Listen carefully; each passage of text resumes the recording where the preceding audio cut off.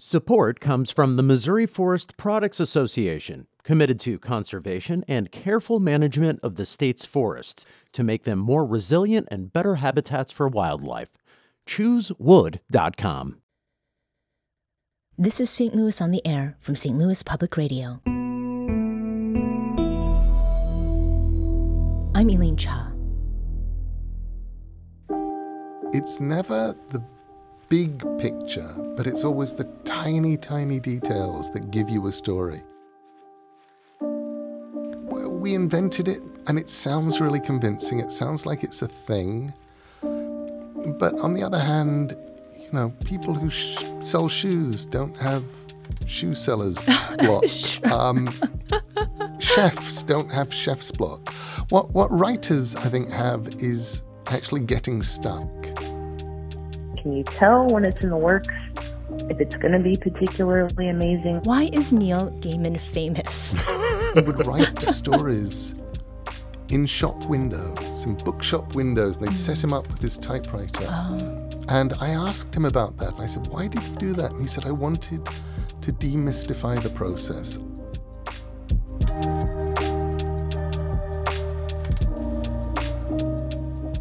There are a lot of credits and accolades to English writer Neil Gaiman's name a recipient of both the Newbery and Carnegie medals. Tonight, April 13th, Gaiman will take the stage at the Sheldon Concert Hall to receive another award, the 2023 St. Louis Literary Award. Presented annually by the St. Louis University Libraries, the award recognizes a writer who, quote, deepens our insight into the human condition and expands the scope of our compassion. It's been given to writers from here and abroad since 1967.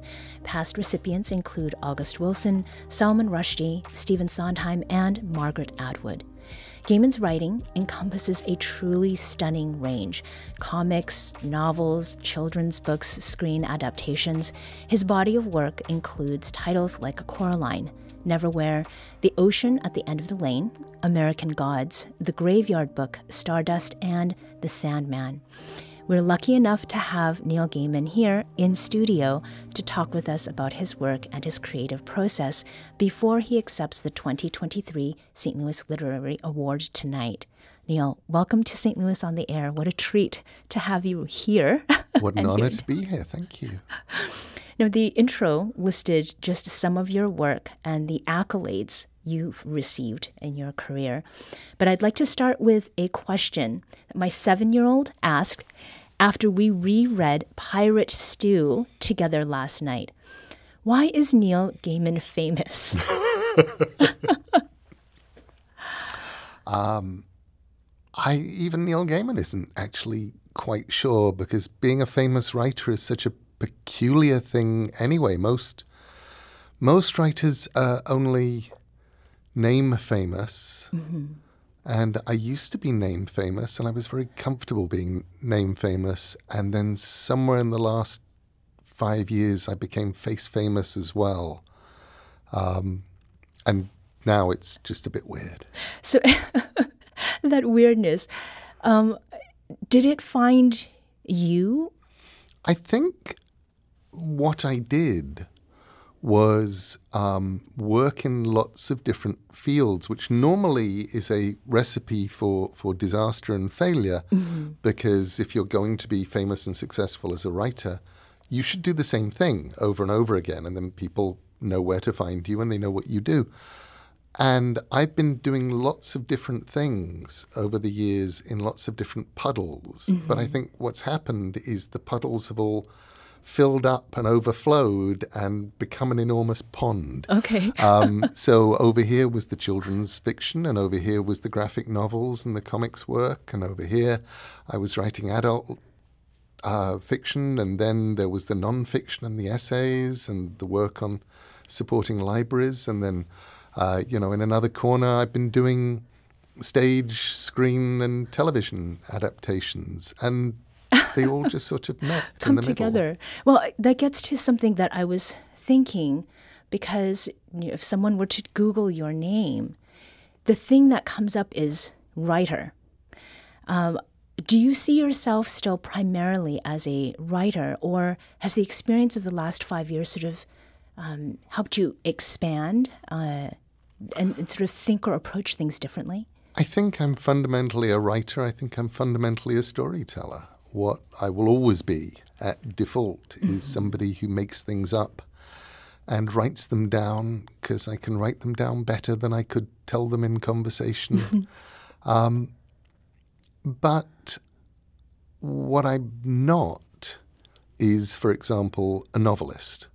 Ah. I have I have friends who are novelists, and what they do is they build novels, and mm-hmm. they know that they're working if they're writing a novel. And I have friends who are poets. I have friends who are short story writers. I have friends who are screenwriters, and they write fabulous television and film scripts. I'm none of these things. I'm kind of an amphibian. Uh-huh. I, I move very happily between media. As long as I'm telling a story, I'm happy. That's really the baseline then. Is storytelling something that you wanted to do from the time you were young? Because I, I asked this question about Pirate Stew, and then the Graveyard Book is, is obviously um, a, a work that is, I guess, ostensibly just for kids. Is it something that you always wanted from the time you were a child? Absolutely. Um, I mean, I remember, you know, taking my mum aside at the age of two or three and dictating poems and little stories to her because I couldn't write them down yet. Um, and I also remember as a kid reading stories, and some of them and some authors I would love. And sometimes I'd read a story and I'd go, You've forgotten. You don't know what it's like to be a kid. You don't know who you're writing for. And I would promise myself that I wouldn't forget. Mm. I'd promise myself I would remember. And I would try and write books for kids when I was old enough to write books for kids that were that hadn't forgotten. So that for me is why I think the graveyard work, book works so well for kids and for adults. Is it's being written on both levels. And so the work that you've done is it's so well loved. It's well known. Um, as I was preparing for this interview, I thought you know, Neil Gaiman has done so many interviews, scores of interviews over the course of your career. Um, so I'm guessing that this is your first one in St. Louis. Uh, second one. The second one. Well, as the second one here in our studio, and because this is St. Louis on the air, our team figured that asking our listeners, many of whom are serious fans of yours, to send us their questions um, so that this could be an experience that is special for them, but also is, is special for you. Great. Here's one that we got about the Midwest, and this is from Kim in St. Charles, who left us a voicemail. Her question is tied to your book, American Gods. I was wondering, with references to Cairo, Illinois, and other odd roadside attractions in the Midwest, have you had any opportunities to explore St. Louis or any uh, Missouri oddities while you're in town? Uh, not yet, although there are things that have been on my list of of places I want to visit, uh, like your museum. The weird, what's the weird one? Oh, City the the City City Museum. Museum. The City yes, Museum. delightfully weird. I, that's that's one of those places I. The first time I read about it, I went, "Oh, this is one of my places. I Right, have to go here." Um, and then in conversation with Jon Hamm once, who is um, one of my favorite people on the set of Good Omens, we started Mm-hmm. talking, and he started explaining to me why I needed to go to the City Museum. Well, it's great that you're you're here. Hopefully, you'll get that opportunity, and you should definitely wear sneakers and uh, comfortable pants when you go.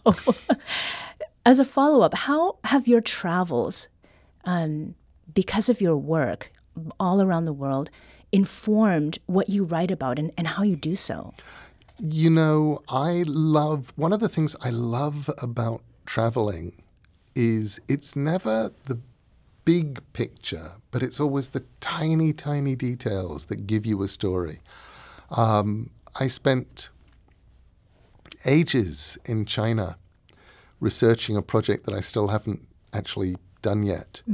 Um, but most of the stuff about China that I saw, I could have written just from knowledge of China, from films, from books. and then I was halfway up a mountain, and somebody on the side of the mountain had set up a little stand, and they were selling snow white honey from their own hives mm-hmm. halfway up this mountain. And I not only bought a jar, but I got a fabulous short story out of it. And it was ah. just that moment where you see something and that you're not expecting it, but you know that somehow you found a story. Mm-hmm. Now, does this mean that you are a writer always and everywhere? So when you experience that, g- going up um, that, that hill, the mountain in China, did you have a, a, pen or a pencil on your person, or do you just remember things and then translate them to the page or, or the screen sometime after? That's a great question, and uh, there are two answers, both of which are true. Uh, one of which is I'm, I'm oh, obsessive yes. about having pens uh, on me always and little notebooks and things because you never know when you're going to get caught with a fabulous idea and you just need to scribble. Um, but the other bit is that you often only find the you realize what was important afterwards. Mm-hmm. And normally things happen in your life. They can be tiny, odd things like the snow white honey. Mm-hmm. And then they're like a little little bit of grit inside an oyster, and they accrete nacreous layers, and yeah. suddenly you have a pearl of a story. And it's an entire world that you end up building then.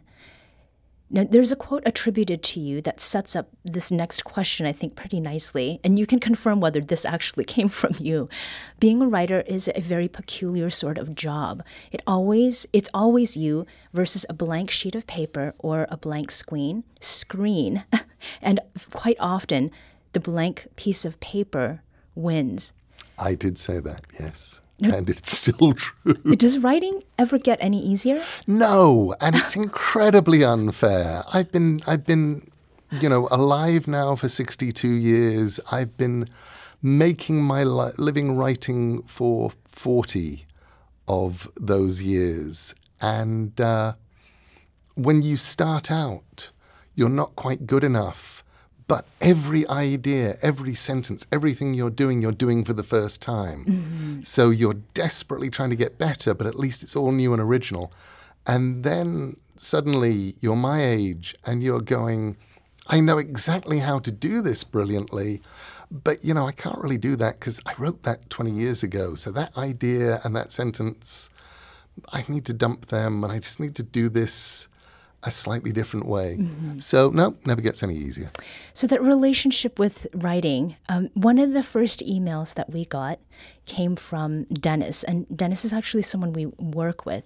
And here's what he sent he said, I read American Gods several years ago.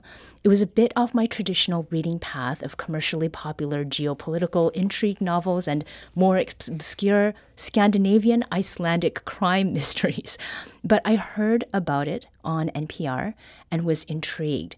Last year, when I finally succumbed to my wife's insistence to rid the house of at least most of the hundreds of books I've read over the last several years, I held back a few a very few, included among those in this pile of a dozen or fewer cherished treasures, kind of making a, a picture in the mind, alongside an old family Bible and a tattered copy of On the Road, is a pre owned copy of American Gods. Uh, Mr. Gaiman has that quote unquote something. He has insight, vision, imagination that genuinely excites me. In my own little mind, he himself is a true American God. Not the God Almighty, perhaps, but maybe, just maybe, one of those other underestimated gods. Now, another thing that Dennis had included in that email, and we kind of um, edited a little bit, was that after reading your work, he gave up on trying to write because he felt like he could not achieve or attain um, the kind of quality that is in your writing. What would you say to someone? oh, I, would be, I would be sad. I would tell him, no, no, no, you got to write. Mm-hmm. If you mm-hmm. wanted to write, just keep going. Um, you know, for me, I'm never happier than when I run into a young writer, a just published writer, um, somebody who tells me that some book of mine set them off on the path to becoming a writer. And often I'm happiest when they say, You made it look like fun. Mm-hmm. Um, I look back on the writers who inspired me, people like Roger Zelazny or Harlan Ellison or Ursula K. Le Guin. Um, and a lot of them, one of the things that I would look at is it really looked like they were having fun writing. It looked like they were enjoying themselves. And I wanted to have part of that fun. Mm-hmm. So the joy, it, it transports and it transfers. I hope so. And I also hope that it inspires a little. So right. I would be I would be so sad if somebody said, Oh no, I, I read your thing and I didn't write because you'd said it all and you'd done it all. That would be like, no. And and you think about the fact that we human beings as a species have been around for half a million years, something like that. Mm-hmm. And I'm sure we've told an awful lot of stories to each other in that time, but it's okay. We can tell them again. Sure. Um, we we can. They're ours, and we're telling them in our time. And my stories will never be your stories, and your stories will never be somebody else's stories. So we get to tell our own stories. And telling us some of his story in our studio today is Neil Gaiman, or Gaiman. Yeah. Yes, Neil Gaiman, prolific and celebrated writer and recipient of the 2023 St. Louis Literary Award. We also had a, a, comment come in from Lilith from South St. Louis, who wrote, I was fortunate enough to take Neil's master class, and it was wonderful. I'm wondering how much control he had over developing the curriculum, and how he went about designing such an informative class. What a lovely thing. Um, when the, the people who do masterclass basically came to me and they said, We've we basically read everything that we can ever find that you've written about writing, and we've seen every interview, and we have lots and lots of questions. So half of it was from their questions, and half of it was from the fact I, I teach um, at a college near me in New York State called mm. Bard College. And I've been teaching twice a year, just, uh, you know, 15, 16 students, and we do a course on adapting Shakespeare, we do a course on writing and reading the fantastic, whatever. And it was fun just being able to take all of what I'd learned from them and what I'd learned from teaching them and go, okay, I want that in here too. Mm-hmm. I want to be able to talk about why we write, how we write. If you're a writer, how do you deal with writer's block? Um, if you're a writer, how do you make characters different and interesting? How do you write a short story? What is a novel for? What is fiction for? Mm-hmm. And just talk about all of those things in the hope that I could send some of the people who watched the masterclass out into the world as writers themselves. Mm-hmm. And also, I wanted to demystify it. I mentioned Harlan Ellison earlier, um, a writer who is now dead, who was my friend. And one of the things that Harlan did when I was just a kid was he would write stories in shop windows, in bookshop windows, and they'd mm. set him up with his typewriter. Oh. And I asked him about that. And I said, Why did you do that? And he said, I wanted to demystify the process. I wanted to show people that writing at root is a blue collar occupation. You are sitting there and you are typing, and somebody is doing this. And I loved that idea of just demystifying it enough to tell people, no, you can do it. Yeah, that's lovely. and speaking of writer's block, what has writer's block been like for you? For instance, is this something that takes up residence before you realize it's there, or do you know and feel it immediately? For me, um, I think writer's block. Writers are really clever. We we are incredibly imaginative, and I think we invented writer's block. Mm. I think we in, we invented it and it sounds really convincing. It sounds like it's a thing. But on the other hand, you know, people who sh- sell shoes don't have shoe sellers block. um, chefs don't have chef's block. What what writers I think have is actually getting stuck. Mm. And the moment that you say getting stuck rather than writer's block, you're demystifying it a little mm. bit. But you're also removing it from the gods because writer's block is obviously something that the gods decide that you have to suffer from and endure, and one day they may lift it.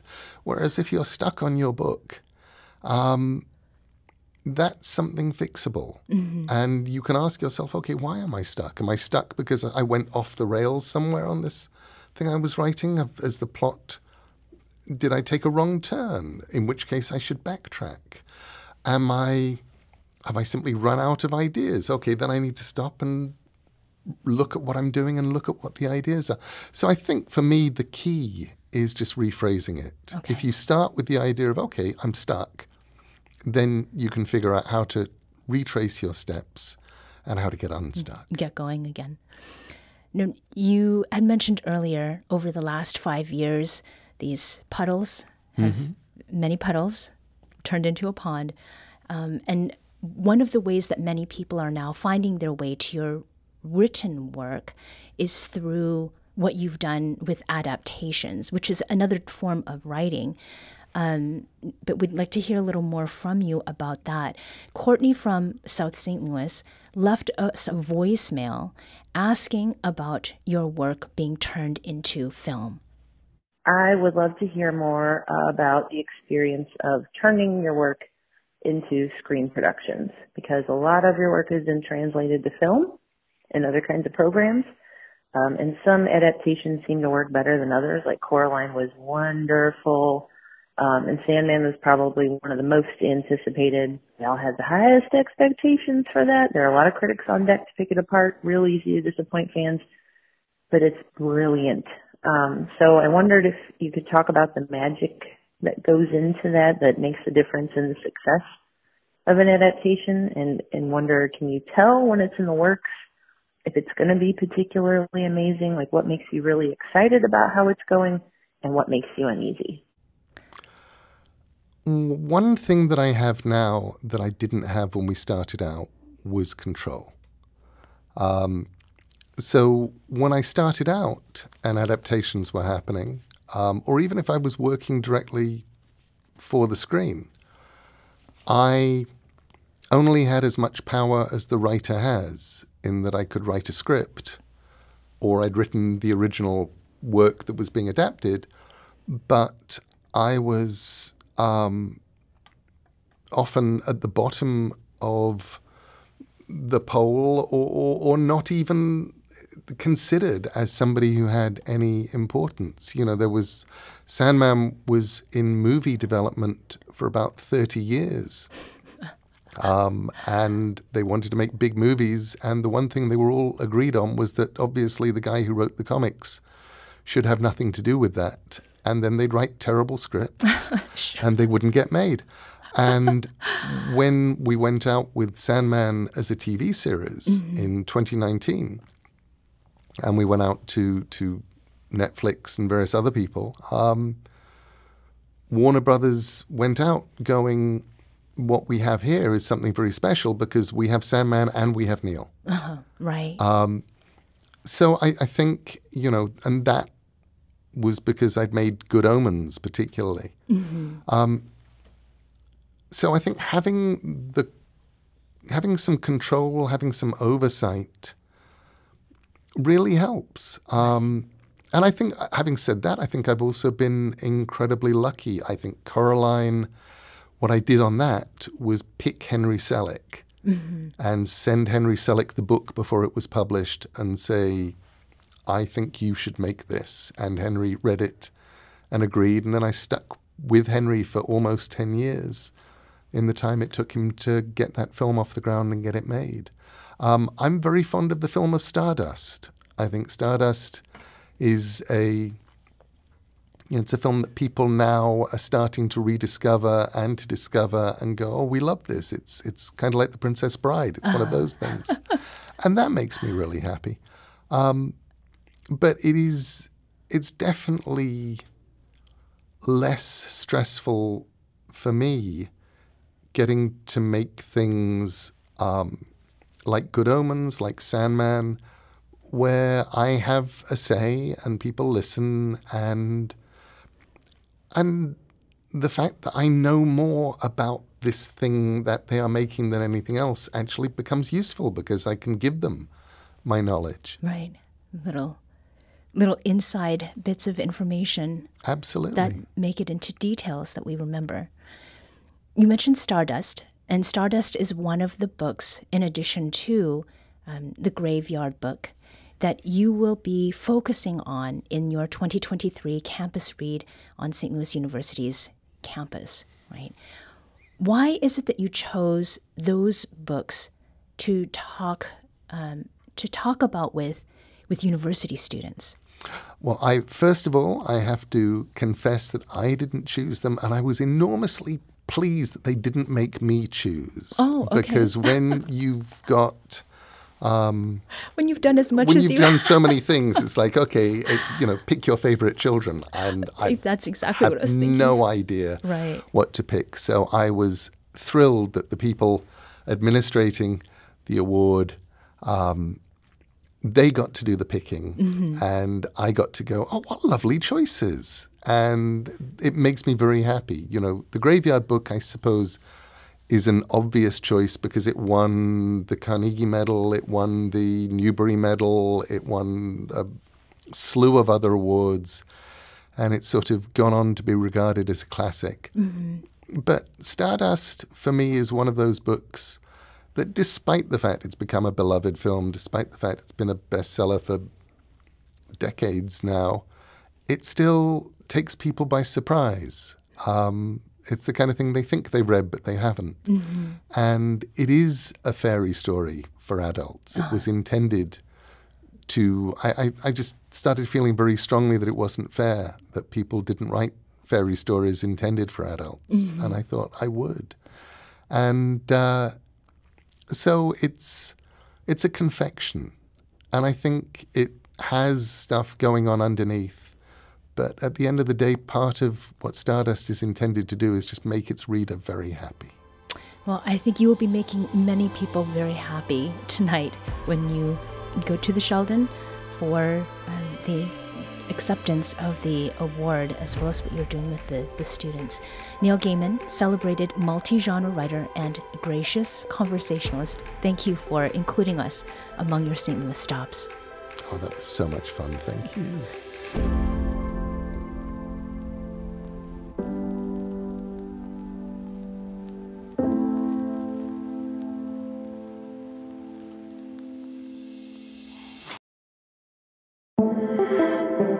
Today's episode was produced by Alex Heuer. Audio engineering and podcast design by Aaron Doerr. Our production intern is Avery Rogers. Our executive producer is Alex Heuer. St. Louis on the Air is a production of St. Louis Public Radio. Understanding starts here. Our podcast proudly supports St. Louis artists by using music from Life Creative Group.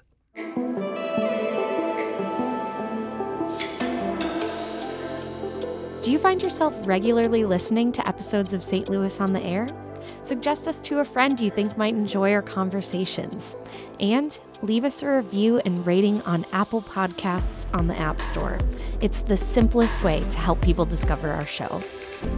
Thanks. St. Louis Public Radio is a member supported service of the University of Missouri St. Louis.